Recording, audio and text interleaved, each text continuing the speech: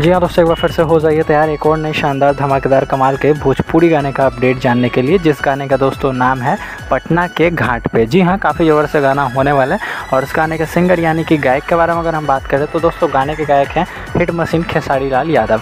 जी हाँ खेसारी लाल यादव इस पूरे गाने को गाए हैं। तो चलिए अभी हम बात कर लेते हैं गाने के शूटिंग के बारे में। दोस्तों, इस गाने की शूटिंग चल रही थी उत्तर प्रदेश में, जो कि फ़िलहाल कंप्लीट हो चुकी है। काफ़ी ज़बरदस्त, काफ़ी धमाकेदार इस गाने का वीडियो सॉन्ग आने वाला है, सो आप देखना बिल्कुल भी ना भूलें। चलिए बात कर लेते हैं गाने के ट्रीजर के बारे में। गाने का जो ट्रीजर है वो रिलीज़ हुआ है या फिर होना बाकी है।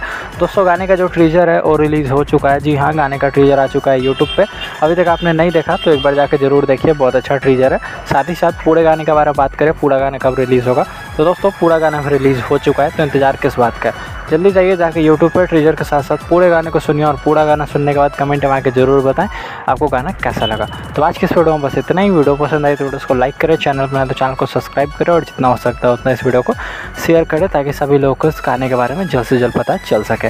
हम मिलते हैं ऐसी नई वीडियो के साथ, नए सॉन्ग्स के साथ नए अपडेट के साथ। तब तक अपना ख्याल रखें। जय हिंद, जय भोजपुरी।